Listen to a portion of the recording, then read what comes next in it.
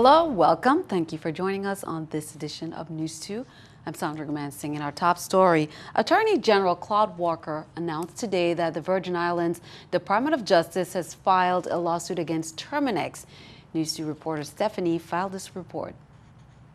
March of 2015, Stephen Esmond, along with his wife Teresa and their two boys, Sean and Ryan Esmond, traveled from Delaware to the Virgin Islands on vacation and stayed at a St. John condominium resort. Shortly into their stay, the Esmond family became gravely ill, and reports state that Stephen, the father of the family, is still wheelchair bound to this date, and his two sons are still enduring paralysis with no sensation to their limbs. Terminix's illegal and unsafe application of pesticides containing methyl bromide had well publicized and devastating consequences for the Edmonds family. Vacationing in the Virgin Islands and staying at the Sirenusa Resort on St. John. After an investigation by the United States Virgin Islands Department of Planning and Natural Resources and the Attorney General's office, investigators found that methyl bromide, an odorless, colorless gas used to control a wide variety of pests in agriculture, as well as to fumigate wooden pallets, was the cause of the Edmonds family's illnesses. The tragic events at that, result, at that resort resulted in an investigation by DPNR and the Attorney General's office. According to reports, Terminix has already paid out $3 million to the Edmonds family to cover medical expenses and additional $10 million in fines. Stephanie Brown, News 2. Count on 2 to keep you updated. While in other reports, another man accused of participating in a scheme to defraud the government through a property auction has admitted to his role in the conspiracy. Sylvester Warner, 43 of uh, Estate St. Peter, pleaded guilty to taking part in the plot, which occurred during an August 30, 2012 property bid conducted by the Office of the Lieutenant Governor. Warner faced two charges, one count each of a conspiracy and criminally influenced and corrupt organizations act in connection with the crime. However, rather than face a jury, Warner accepted the terms of a closed plea bargain offered by Attorney General Claude Earl Walker. Warner appeared in court for a change of plea hearing on February 3rd and stood before VI Superior Court Judge Michael Dunston to formally admit to the crime. Under the terms of the plea bargain, Warner entered a guilty plea to the single charge of conspiracy, and in exchange for his testimony and full cooperation against the remaining co-defendants, the second count against him will be dismissed. Warner will testify against the other co-defendants and he will be sentenced to a period of one year supervised probation. In all, four men, Warner, Calford, Charleswell, Paul Sabers, and Edward McKenzie were taken into custody and charged in connection with the public auction scheme. Supervisor of Elections Caroline Fox says that the 2017 special election calendar is available now. Any registered voter who meets the requirement for the office of the legislature can participate in this special election scheduled to be held on Saturday, April 8th, 2017. Nomination packages will be available beginning Tuesday, February 14th at 9 a.m. If you have questions, please feel free to contact the office. St. Thomas at 774-3017, St. Croix at 773-1021, St. John at 776-6535, or you can log on to www.vivote.gov. Turning to crime reports on Sunday at approximately 9.30 p.m., a male called the 911 emergency call center and reported that he heard several shots fired in the area of Home Depot and that a male was uh, lying on the ground. Well, the, upon responding, officers arrived to a grassy area adjacent to the roadway leading to Home Depot. An unresponsive black male was discovered lying face down with what appeared to be at least one gunshot wound to his upper body. The emergency medical technicians arrived on the scene and pronounced the male deceased. The victim was later identified by his next of kin as 48-year-old Don A. Richards of Anna's Retreat. At this time, VIPD has no known suspect or suspects regarding this incident. Call them if you can assist in their investigation. Meanwhile, on Friday at approximately 11:20 p.m., several citizens called 911 and reported several shots fired in the area of Bovoni housing community. Citizens also reported a vehicle colliding into the bushes in the vicinity of Building D. Shortly thereafter, a citizen called 911 and reported that they were traveling to the Schneider Regional Medical Center with a gunshot victim. The victim was identified as 23 year old Mario Huggins of Bovoni Housing Community. The victim sustained at least one gunshot wound to the upper body and succumbed to his injury at the Schneider Regional Medical Center. On February 9th, about 11:28 a.m., officers were dispatched by the 911 call center to a discharging of shots in the Marley housing homes in Frederiksted. Here's VIPD with more. Upon arrival, officers made contact with a female individual who stated that she was outside of her home with her boyfriend and children who were riding their bikes when three individuals in a blue vehicle rolled down the passenger side window and started shooting at them. She then dropped to the ground, grabbed the children, and ran into the apartment. The vehicle continued shooting and fled the area. No one was injured. Patrol units searched the area and located the vehicle. Upon processing the vehicle, evidence revealed that the two individuals in the car were involved in the Marley housing shooting. On February 9, 2017, at about 11:39 p.m., 24 years old Okimo J. Haywood and 24 years old Kenrick E. Lewis were both arrested and charged with assault third, reckless endangerment first, discharging and aiming a firearm. Haywood and Lewis were remanded to the Bureau of Corrections Detention Center pending advice of rights hearing. Also, another crime reports on February 10th, about 6:20 p.m., 57-year-old Ethelbert Burt Benjamin Jr. was arrested on a warrant issued by a Superior Court magistrate. Benjamin's arrest warrant stems from 1998 to 2000 for aggravated rape first, unlawful sexual contact first, and child abuse. Bail for Benjamin was set at $150,000. This is Benjamin's third arrest for three different victims, according to VIPD. Thursday, September 29, 2016, he was arrested for rape first degree. A 20 year old female made a statement that he raped her after offering her a beverage to drink. He was again on November 22, 2016, and uh, charged with uh, aggravated rape in the first degree arrested, unlawful sexual contact in the first degree, and child abuse. A female family member stated that he sexually assaulted her. Crime Stoppers USVI is in receipt of an anonymous reward of $10,000 allocated for information leading to the arrest of the rapist reported in the East End, St. Thomas. This community reward is in addition to the maximum reward of 2,500 offered by Crime Stoppers. If you have information regarding this case, please contact Crime Stoppers via at 1 800 222 8477, the website you can log on to. You can also call the Criminal Investigation Bureau DV unit at 340 774 2211 or 911.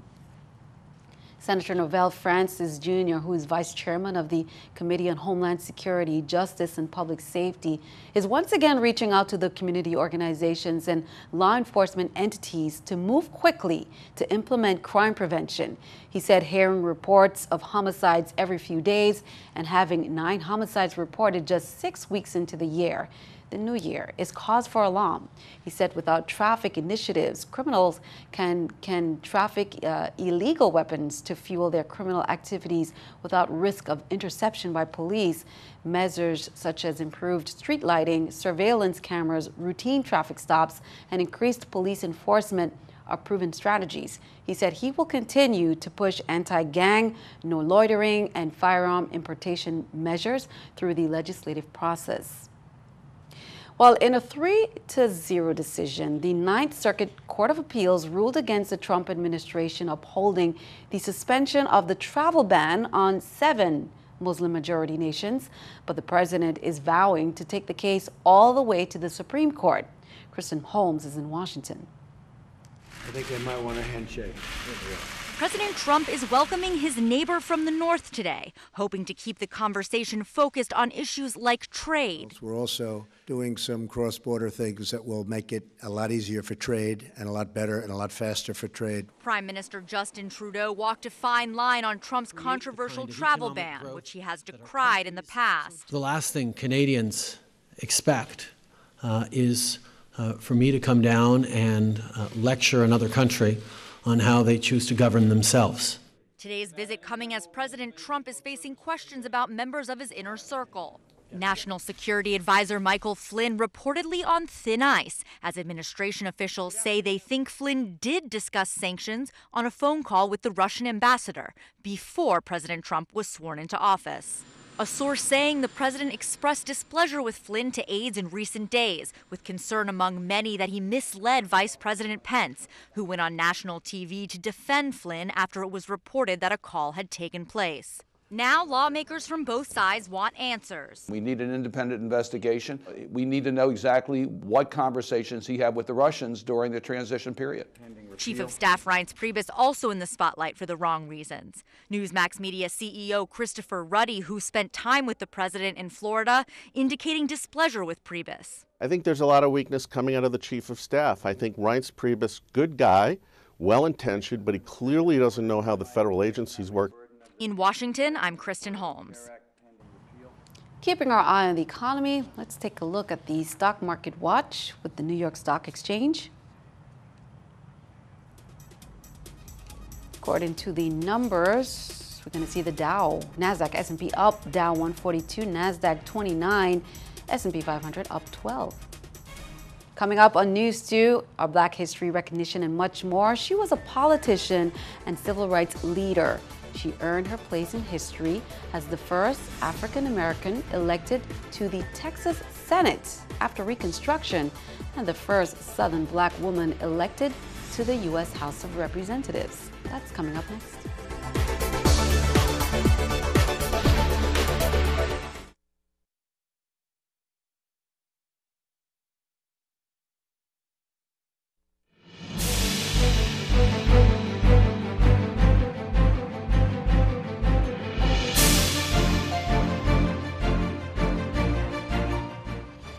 Welcome back. Governor Kenneth Mapp assembled a cabinet meeting recently at Government House in St. Croix to address the government's current liquidity position. The cabinet members discussed the deficit for the remaining fiscal year with an estimated budget deficit of 98 million as, as of January 31st, 2017.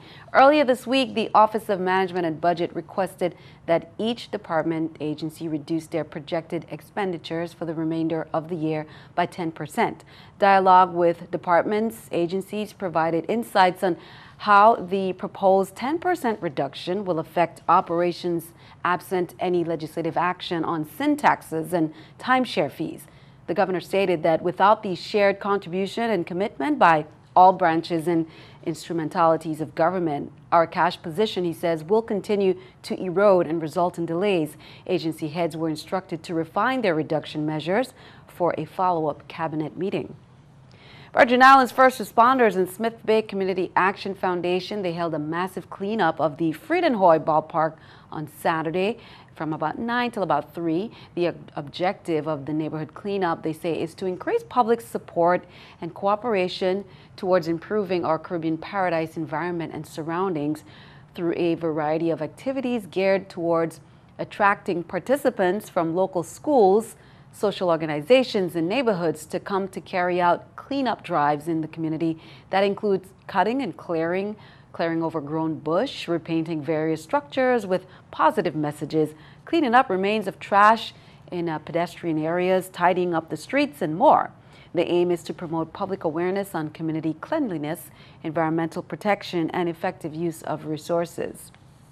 Senator Brian Smith held his first town hall meeting at the Cleon Henrietta Creque Conference Room on Friday and met with residents of the community who shared their concerns. And some of them are lack of maintenance of the cemetery in Cruz Bay, in which the senator said he has contacted administrators and they say that they will repair the area. Additionally, the cemetery in Cruz Bay has almost outgrown its capacity and there needs to be other options. That's another concern. Separately, residents also complained about the library that is closed. The senator said he will look into having a mobile library for the youths.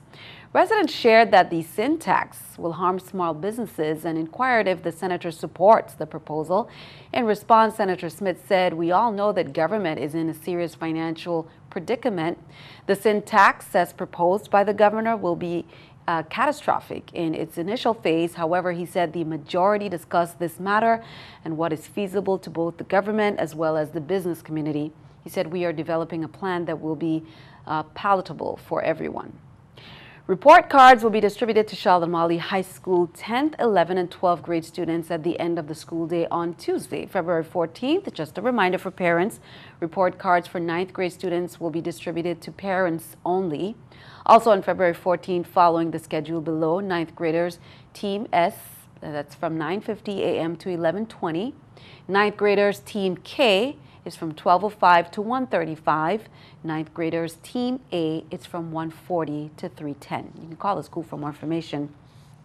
Meanwhile, Virgin Department of Education State Office of Special Education will conduct school year 2016-2017 leadership training on discipline, suspension, and expulsion conference. That's on Thursday, February 15th and Friday, February 17th in the St. Croix District at the Buccaneer Hotel Brass Parrot Room.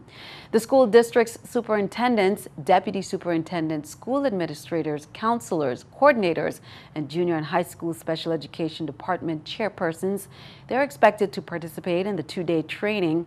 This year's leadership training will be conducted by attorneys Lee uh, and Megan Pasafaro from the firm Brustein and Manasevit PLLC, acclaimed special education professionals that have represented schools and school districts across the country.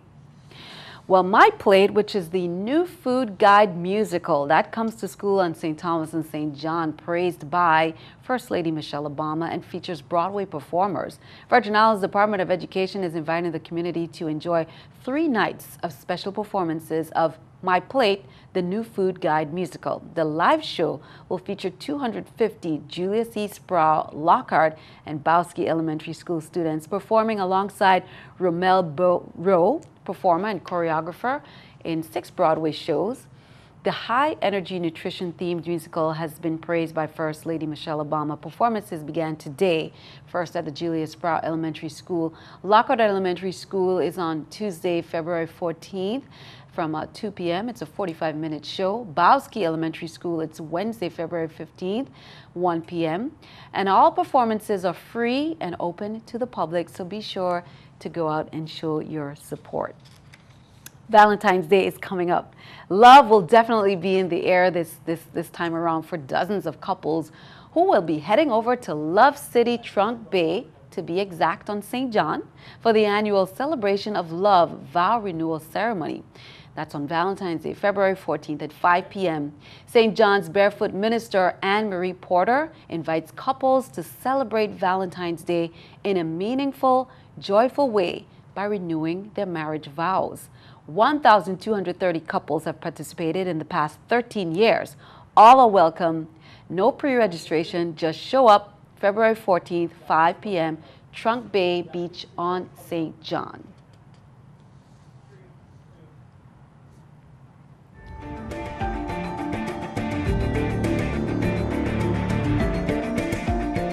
Time for a moment in Black history.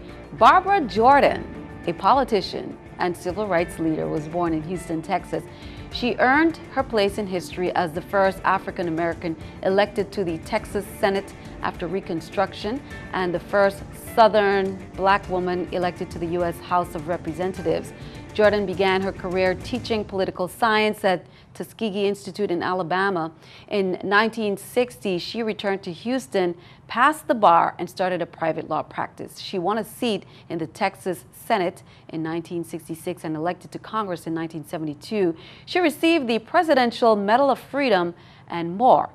She died on January 17, 1996. The Coral Bay Community Council, Eudora Kean High School, and Gift Hill School they came together to organize a unique art competition on Thursday, February 2nd. High school students from Eudora Kean and Gift Hill, they met at the Resource Depot on St. John to make art from something we have plenty of in the Virgin Islands, trash. The art competition's goal was to get the youth uh, in the Virgin Islands to consider the amount of waste created in the territory, what can be done about the issue, and how to start thinking about trash as a resource. The two dozen students were separated into six teams given time to organize their ideas, and then from old electronics, scrap metals, plastics, tires, and other assorted waste materials were asked to make sculptures reflective of cultural and environmental aspects here in the Virgin Islands. The groups had 90 minutes to put together their art. The winning sculpture was selected from a panel of judges. The winning team was made up of Tyreek Morton and Mavine Parsil from Gift Hill and Deandra Chaldwell and Cheyenne Richardson from Eudora Kean, who constructed a mangrove scene from trash. They will be displaying the art the students made in Franklin Powell Park on St. John on Tuesday, February 14th, Valentine's Day. Be sure to stick around. Your News 2 AccuWeather forecast is coming up next.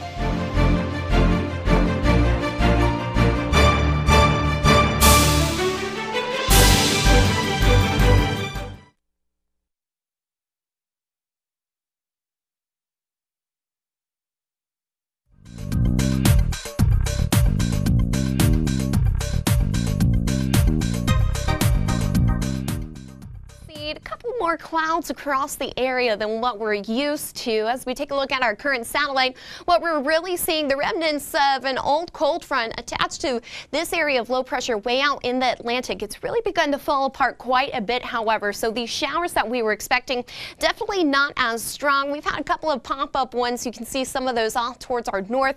Most of that lagging moisture over parts of Hispaniola and Puerto Rico, though we have seen uh, some of those showers throughout our, our time. That's going to stick uh, with us throughout tonight as well. There should be very brief passing showers for us here.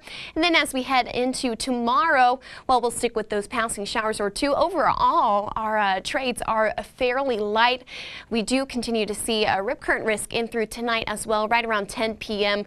with uh, associated with the, the storms passing in through the Atlantic. St. Thomas for tomorrow, looking at a shower or two as well, 83 degrees for our high. And once again, down towards St. Croix, just a little bit less chance of seeing those showers. Now, as far as the water is concerned, I did say uh, this rip current risk, especially on the north-facing uh, beaches, especially out near the points. Uh, our waves 2 to 4 feet, winds out the northeast 4 tomorrow, 10 to 15 knots. Now, on the Caribbean side of things, our winds are just slightly less here, northeast 5 to 10 knots, and our waves around 2 to 4 feet. Here's a look at your extended forecast. We are showing uh, we're going to warm up as we head towards the latter half of this week, Friday into Saturday as well. We're going to be at 84 degrees. Stray shower, passing sun, or a passing shower in store for us here. And then as we head uh, into next week, it's going to be a pretty similar trade wind flow condition, fairly light as that area of high pressure continues to push across the Atlantic. Back to you. Thank you for that. It is time for our news to weather picture by Kiara Astri of the Ricardo Richards Elementary School, sharing this typical VI weather that, of course, always includes the sunshine, and we can feel the rays there. Kiara, thank you. Send us your news to weather picture to the address on the screen, and be sure to include all the information we need, and then tune in to see it right here on News 2. That is all for now. Thank you for joining us. I'm Sandra Gumansingh. Have a wonderful evening.